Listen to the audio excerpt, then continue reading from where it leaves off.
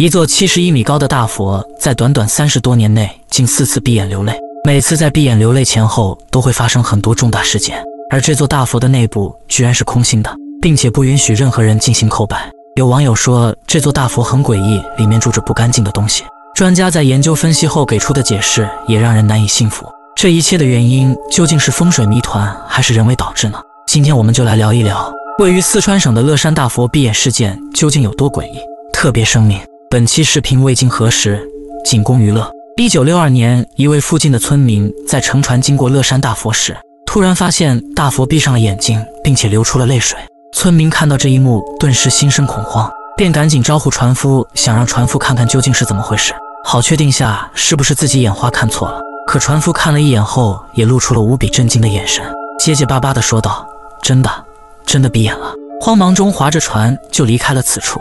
但这件事很快便在当地流传开了，人们纷纷猜测说，大佛闭眼流泪是不祥的征兆，一定是有不干净的东西进入到了大佛的内部。随着这一说法的诞生，百姓们都变得不安起来，一时间闹得人心惶惶，都不知应该怎么办才好。不过此事很快就引起了上级部门的注意，领导为了不引起恐慌，便派人对大佛进行了修缮。但事情到这里并没有结束，接下来发生的事却变得更加诡异，更加扑朔迷离。时间到了一九六三年。当地村民发现大佛居然又闭上眼，流出了眼泪。短短不到两年时间，大佛先后两次闭眼流泪，百姓们都感觉极为不正常。后来便传出了一种说法，说大佛闭眼流泪肯定是和几年前的大灾荒有关。一九五九年到一九六一年这三年，全国出现了百年不遇的水灾旱灾，漫天的蝗虫又啃食了所剩无几的庄稼，百姓们都吃不上饭，饿死了很多人。为了生存，只能挖野菜、啃树皮充饥，日子过得苦不堪言。大佛肯定是了解到了人间百姓的疾苦，不忍心看到百姓们受到如此灾难，才流下了泪水。不过这只是民间流传出来的一种说法而已，并没有什么依据可言。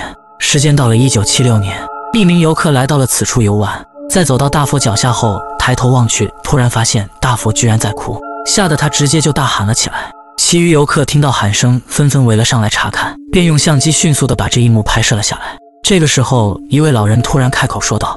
大佛闭眼流泪，怕是又要发生什么大事了。而在这一年，我国真的发生了很多重大事件，几位重要领导人相继离开了人世，全国百姓悲痛万分，泪洒十里长街。一九八六年三月八日下午三点，宇宙中一颗巨大的陨石飞向了地球，在吉林地区的上空发生了大爆炸。一九七六年七月二十八日凌晨三点四十二分，河北省唐山市发生了恐怖的七点八级大地震。一座百年的工业城市，仅用了短短的二十三秒就被彻底夷为了平地，造成了二十四点二万人死亡和十六点四万人受伤。这一年也被很多老人称之为最诡异的一年。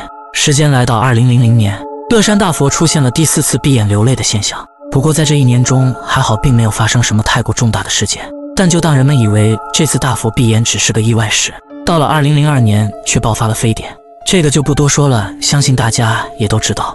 随着前后四次大佛闭眼流泪，都发生了很多事件，一时间流言四起，甚至有人把这件事和超自然事件联系到了一起。上级部门为了避免谣言继续散播，便派出专家进行了一系列的调查，最后也给出了相对科学的解释。